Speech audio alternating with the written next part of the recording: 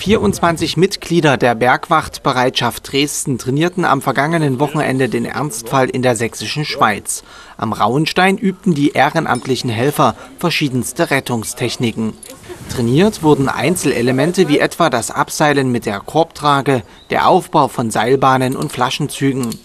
Diese Übungsvarianten dienen im Ernstfall der Rettung von Verletzten aus Felsspalten. Auch komplexe Abläufe wurden bei dem zweitägigen Camp trainiert. Dabei mussten verletzte Personen medizinisch versorgt und über verschiedenste Rettungstechniken abtransportiert werden.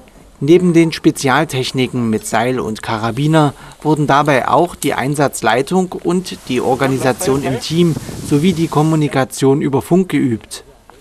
Die Bergwacht im Gebiet der Sächsischen Schweiz wurde 2010 zu insgesamt 75 Einsätzen gerufen. Hauptursache für die rasche Hilfe waren Wanderunfälle. Nicht alle Rettungseinsätze aber gingen glimpflich aus, so mussten im vergangenen Jahr auch neun Personen tot geborgen werden